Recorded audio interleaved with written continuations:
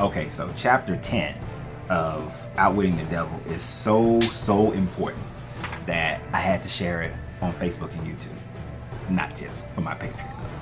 Self-discipline. Here we go.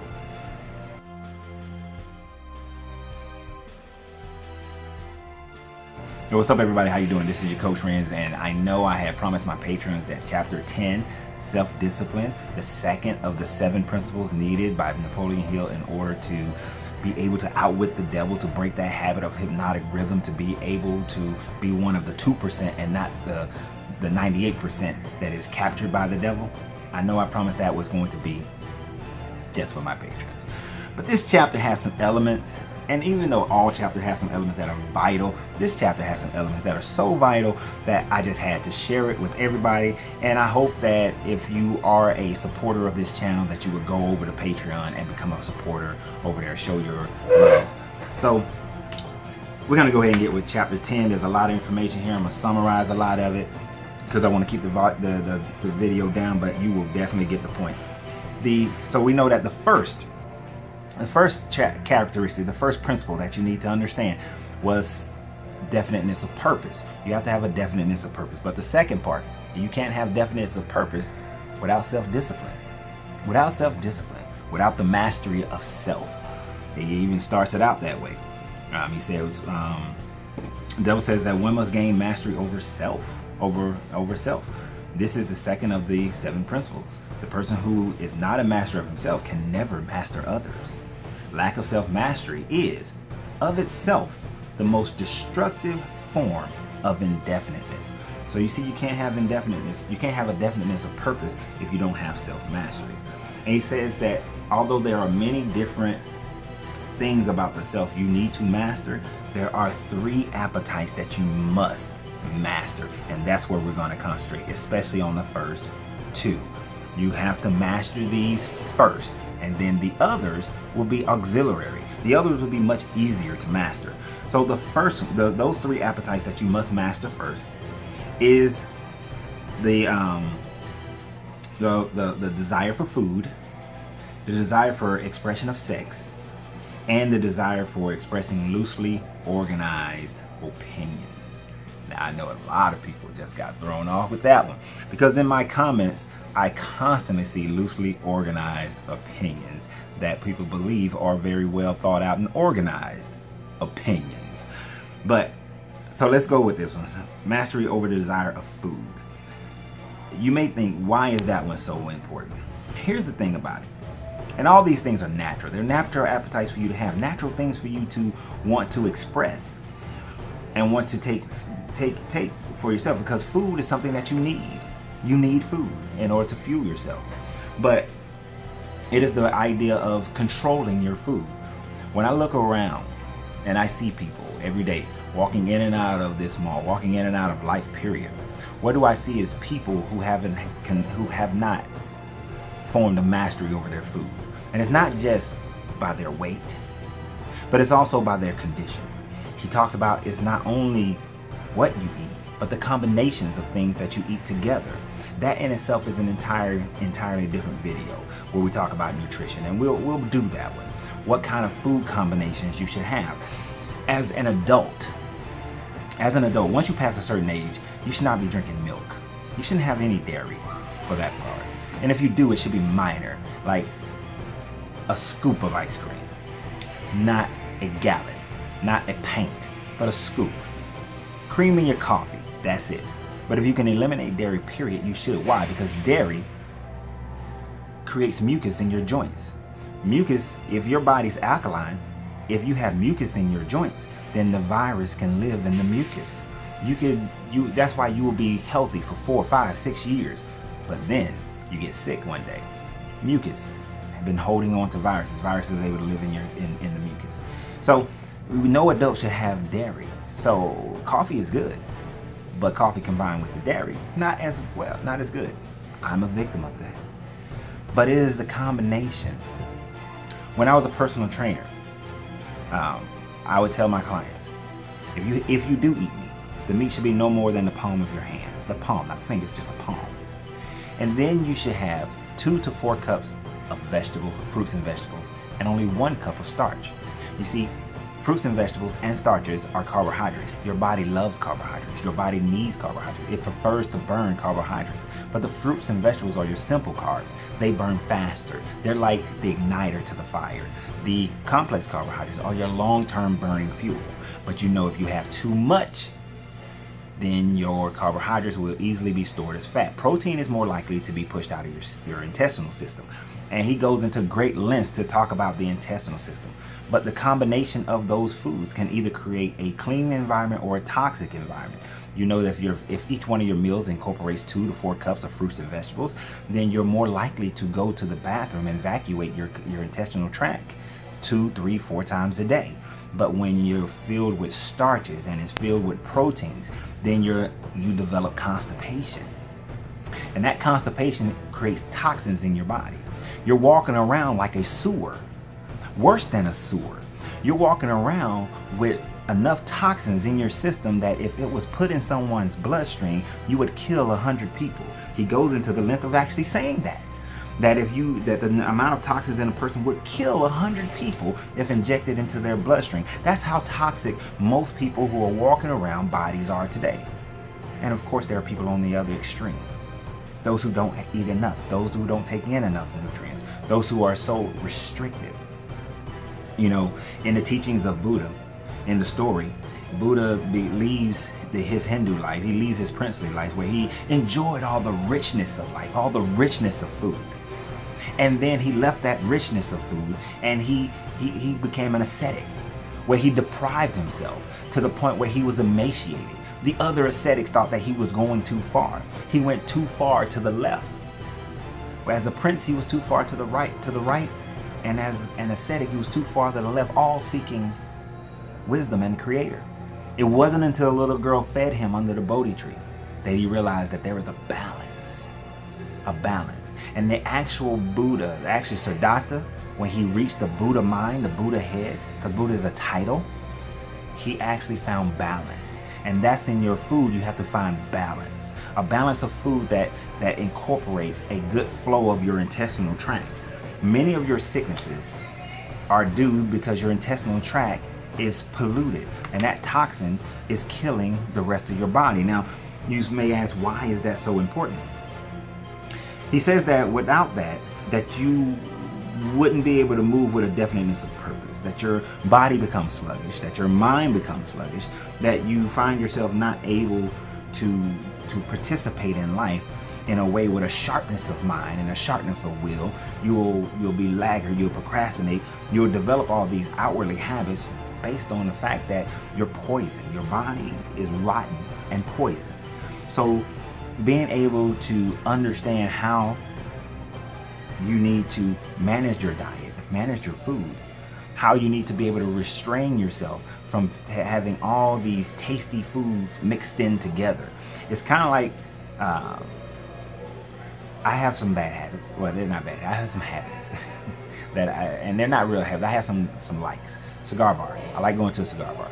I was at the cigar bar recently, and um, three of my friends were there two of my friends were drinking and they mix white liquor and brown liquor. And if anybody who drinks knows, you do not mix brown liquor and white liquor. You will feel the pain of that later. And it's more immediate, so that's why people don't do it. Food intoxication is not as immediate. It's slow. It creeps up on you. It, it, it, and that's the, the that's the funny part about it is that it comes upon you so slow that you don't even recognize it, which is why they don't have to come out and say, we're poisoning you. This is why when um, the guy did the video, the, the documentary of eating McDonald's third, for 30 days straight, that was an immediate offense to his system because he ate it and he indulged in it to a degree that most people don't. But when you consume it slower, you consume fast food slower. You don't notice it. You go up one size a year. You don't notice it. You have more and more arthritic pain. You don't notice it. You these things slowly move. You you blame it on age. You blame it on lack of movement. It, it, it creeps on you slowly. But if you take the drastic change of changing your diet, of understanding correct food combinations, and what I just told you is correct enough. If you eat meat, palm of your hand, two cup, two to four cups of fruits and vegetables, and one cup of a starch for three meals. You're good. That's a good combination. Then other than that, you just need to learn how certain fruits and vegetables work with work better with each other. How certain starches work better with certain fruits and vegetables. They work better. Okay? So you must control your food. You must control that desire for it. It'll, and you'll find yourself in a much healthier state. Right?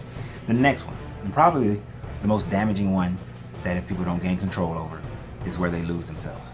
And that is the desire for sex expression. He actually says, um, the desire for sex expression. Now there is a force with which I master the weak and the strong, the old and the young, the ignorant and the wise. In fact, I master all who neglect to master sex. That's what the devil says.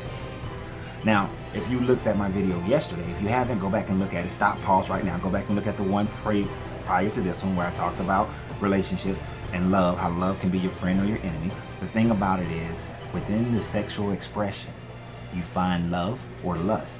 This is why it can master the powerful and the weak, the old and the young, the ignorant and the wise, because of the emotion that is attached to it. The emotion of the emotion of love and the emotion of sexual expression are tied in with one another. Now, for some people, they can separate, they can compartmentalize. But for most, it's tied in. Even if it's tied in a little bit, all it needs is a grain. All it needs is a small amount. If it's tied in, then that can cause you to be in the most destructive state you've ever been in. That you can be controlled by so many other sources.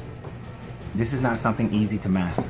I've been studying Tantra since mm, since 1997 hardcore, initially introduced around 92, but 97 hardcore study of Tantra.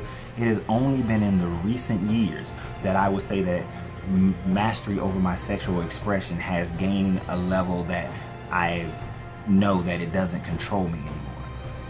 Every now and then, do I sometimes have thoughts that slip up? Sure.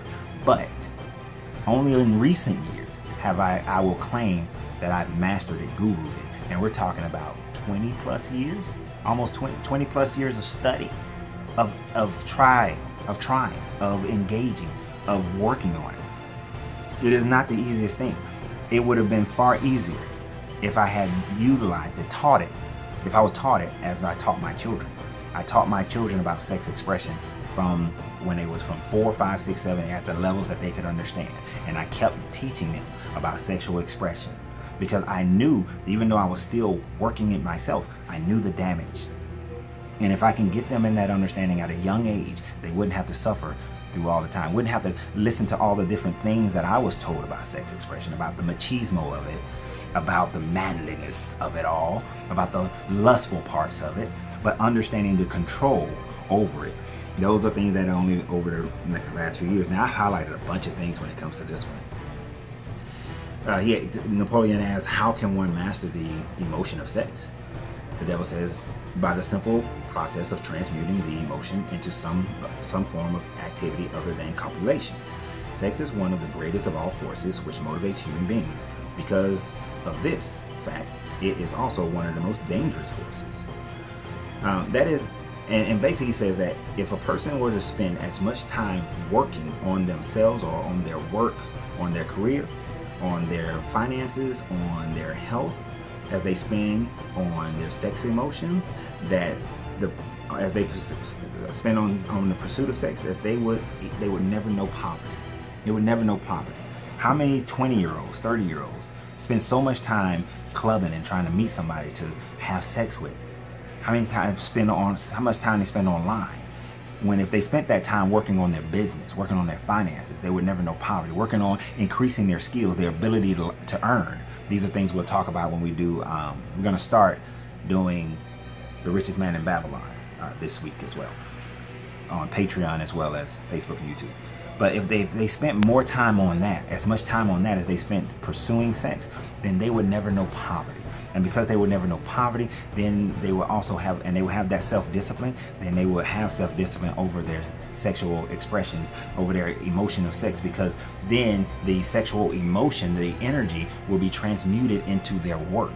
And then as they develop in their work and develop their mind, when the opportunity for sex expression comes, they won't just indulge in it. They'll actually have more control over who, when, where, why, how. They have more control over that to be able to express it in such a way that benefits them and their partner, not so much being damaging as lust does for people. So he goes very deep into that, but we, we, we will continue to go deep in that. Um, Napoleon Hill is shocked by this. He said there is a relationship between sex and poverty. He says yes, where sex is not under definite control, it allows, and if allowed to run its natural course, sex will quickly lead into the habit of drifting. Um, he says there uh, a connection between sex and leadership. Now, I want you to hear this part. He said, yes, all great leaders in every walk of life are highly sex and I've studied leadership in the Marine Corps. We had to study military leadership and political leadership. And in every instance, one of the things that I noticed that each one of these people were very highly sexed and had an amazing sex life when they were conquering, when they were really doing their thing. Uh, General Patton was such a foolish romantic. And I say foolish because he just he did some he made some cra- he did some crazy things based on the romanticisms of life. But he was a huge romantic. Um, but so many of these great military leaders and business leaders are highly sexed. He said, you know, Henry Ford, Carnegie, all of them. He said, but they follow the habit of controlling their sexual desires, switching them into a driving force behind their occupation. Now, we've also seen where this also destroys Bill Clinton. Let's compare Bill Clinton, Obama, Kennedy, John Kennedy. We see men with control over their sexual expression and they excel in life. We see Bill Clinton not control his sexual expression and look at what it did to his life. Look at the current president, President Trump. Look at what his uncontrolled sexual expression, yes, he won the presidency, but look at all the drama surrounding him based on sexual expression of grabbing them by the, you know, those sort of things. Control of your sexual expression. Look what happened to Bill Cosby once on top of the world, sexual expression uncontrolled, look what's happened to him now. Look at all these people who allowed for their who, who were on top, who were controlling it to a certain degree. But then once the, the reality of their failures to control it came out, look at the damage it's done to them. But then look at the others. Look at your Samuel Jacksons. Look at some of these other people who have controlled it and not expressed it in negative forms, who haven't let it control them and their careers, their lives um, seems to be, be better. You have to know them in more detail in order to truly, truly know. But look at yourself. Look at yourself in that one. Um, but he said that sexual, that um, overindulgence in sex is as dangerous as narcotics and liquor. There's no difference between any of them. They create the habit of drifting. Um, so he says, um, Napoleon Hill said, do you mean by your statement that one should not indulge in the, in the desire of sex? And he says, no. I mean that sex is like all other forces available to man. It should be understood and mastered and made to serve man. He said, you can no more kill the desire than you can stop a river from flowing. But if you do shut it off, abstinence, then just like a river, it will break free and flood the surrounding areas. If you dam up a river, it will flood the surrounding areas that you've dammed it up. Unless you know how to release the pressure of the dam allow it to flow in a way that is beneficial to you. Then you can control it. You can create energy from it. Look at the hoover dam. It creates energy by controlling the flow of the colorado river. I believe it's colorado but, but the colorado river. It controls that energy. The more you control that energy utilize it when necessary, express it when necessary, transmute that energy. If you watch my video on sexual alchemy, go back and watch my sexual alchemy video. You'll understand what I mean by controlling and transmuting that energy so that you can manifest in life what it is you truly desire and you want to have manifested in your life. I'm gonna take a quick little pause and I'll be right back. As you guys know, I'm the owner of Uncle Ren's Popcorn, so I had to take a quick break to open the store as I was planning on ending this video at this point. But it's so good, I just had to keep going. Uh, so let's continue. This video is gonna be about maybe five, ten more minutes long. So please bear with me, but I, I hope that you're gaining a lot from right now. I'm sure that you are. If you're not, you need to go back and start this video over and start over, all right? Um, so he, he then asked a very good question. He said, why does the world look upon sex as something vulgar? Now we can go very deep into this one all in itself. Um, but the simple answer is because of the vulgar abuse people have made of it, uh, made of this emotion. Uh, it is not sex that is vulgar. It is the individual who neglects to or refuses to control it or guide it. Um, religion has made sex vulgar. Uh, society, societal norms have made it vulgar. At one point, the Kama Sutra is was not at one point is is written on the walls in India, but it was then only for the affluent, only for the the royalty. But they expressed it in ways that show that they didn't think it as vulgar. The Egyptians didn't think it as vulgar, or you know, it, it became vulgar as the modern day religions began to take over and put their own stamps on it. And then also people began to make it vulgar. They began to utilize it in ways that were more harmful than they were good. Um, they forgot how to transmute the energy of it and, and begin to see it as just a lustful point. We, we downgrade it in our consciousness, which caused us, caused uh, generations and generations to be lost to this, to the vulgar parts of it because we didn't know how to use it. Now he says later on, and I'm gonna I'm gonna say this part now, but he says it later that the fact that nature, the creator, whichever you follow, utilize sex as the way to perpetuate the species and all species on the planet in itself should take away the vulgarness of it because it is so natural. It is incredibly natural. But our usage of it is what has made it vulgar. So when people try to put limitations on it, who you who you should make love to. Now I do believe that it should be people who are of conscious mind, no children. It should be people who have made a decision to, to participate, no raping. It should be, you know, two consenting adults who decide that they're going to do it. And if those two pe- those two people decide that they're going to do it, that's there's there's nothing wrong with it. If those three people, four people, I, there's no vulgarity to it. All right. And I know for some people I'm gonna catch hell for that one, but I could care less. Because the fact of the matter is, is there is no vulgarity to it when it's used constructively. When it's used in a way that enhances your life, enhances your energy, allows you to have more control over your definiteness of purpose and your action and gives you discipline.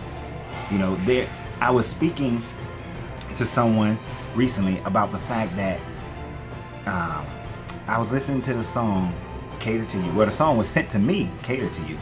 And I was told by a friend that the only way that I'm going to be happy in a relationship is I have to find a woman who is strong enough to understand this song.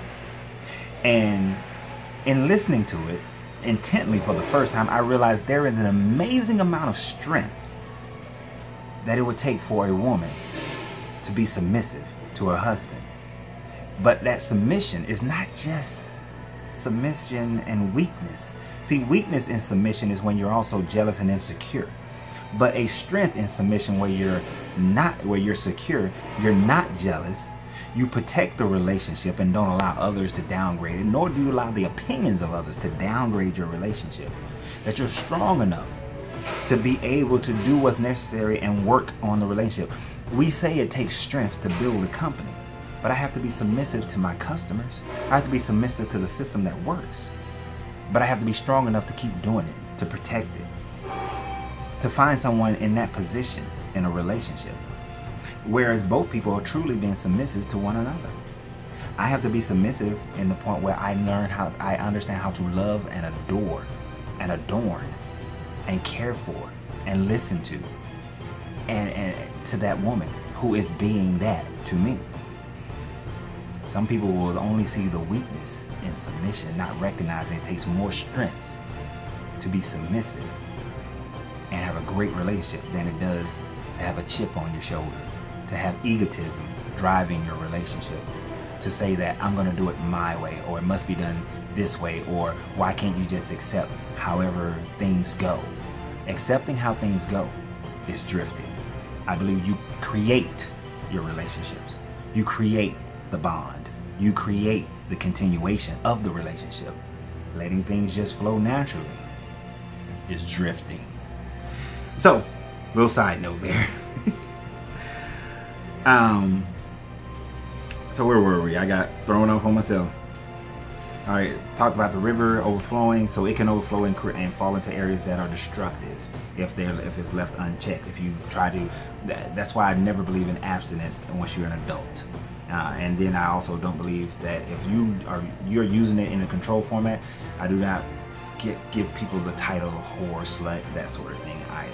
Now, if it's uncontrolled and it's just anybody, everybody, all the time, just that's all you're seeking, then you are a drifter and you are out of control. Um, but it destroys your when it's not enhanced. It destroys your enthusiasm. It destroys. It wastes all your energy. It, you don't maintain great physical, uh, great physical appearance your mannerism, your voice, your mind begins to get clouded, whether you abstain from it or you overindulge. But when you don't, it's the reversal of these things. It sharpens your imagination, it guides you, it leads you. It helps you to master things like laziness and procrastination. It gives you, you know, more physical endurance. It is an antidote for your fear. An antidote for your fear.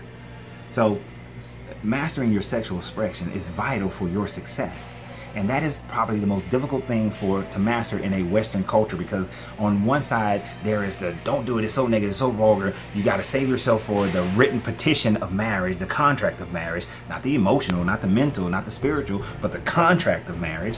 But and or and then on the other side is overindulge you know all the time every way in it you know just just do it do it do it. You work for the sex you live for the sex.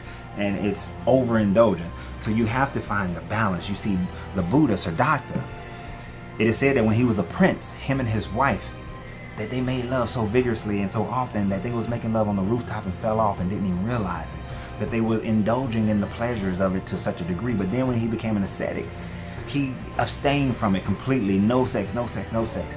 Again, it wasn't until he found balance. It wasn't until he found balance the Buddha mind, the title of Buddha could be bestowed upon him. And if you understood that more closely, then what you would know is in their system of understanding, the, the, the Hindu have a system of understanding. They have a, a, a, caste system even in from from the human, from the lower lower level to the human to the angelic.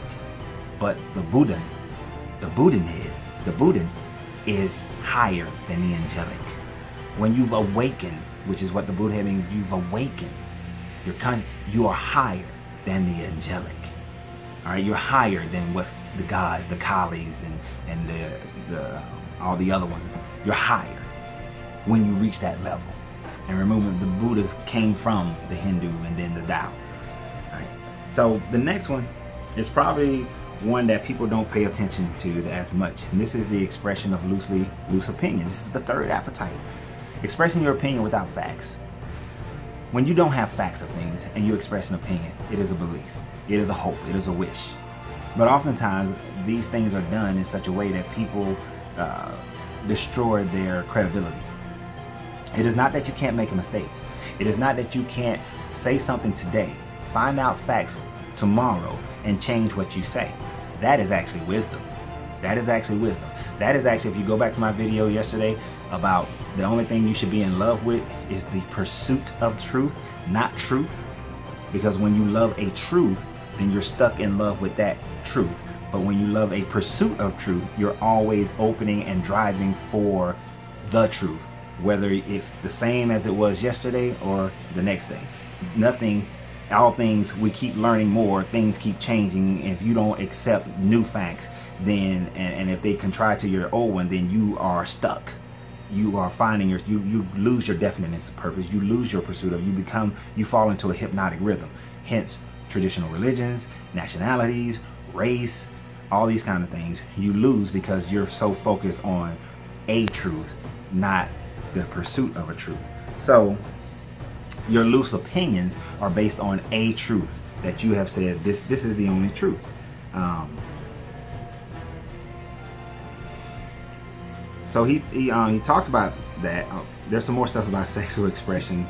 I'm skipping through those. But he says that when you do the loosely opinion, then what you develop is called the grasshopper mind, where you just you you just carelessly express different things, you fall into a hypnotic rhythm that prohibits you from accurately thinking. And because you are just skipping around and you lost your ability to accurately think, that is the most damaging thing to you. He goes into a lot of things about how the different, when you express yourself loosely and to editors and things like that, you're easy targets for scams. That you also, and Napoleon Hill lost a job opportunity because he, you know, expressed himself loosely to an editor because, you know, he was a writer. So he goes into different things like that. But the main thing I want to focus on when it comes to expressing your loose, loose opinion is the fact that you lose your ability of accurate thinking. And when you lose your ability of accurate thinking, then you lose your ability, um, your freedom of thoughts. He says that there is there is no human now. This is the devil. There is no human uh, now living, nor human being has ever lived, and no human being ever will live that doesn't have the right and the power, that has the right or the power to deprive another human being of their privilege of independent thought. You don't have the right. But then he talks about uh, people working on the roof. No adult human being ever loses their right of freedom of thought, but most humans lose the benefit of this privilege either by neglect or because it has been taken away from them by their parents or religious instruction before they had came to the age of understanding.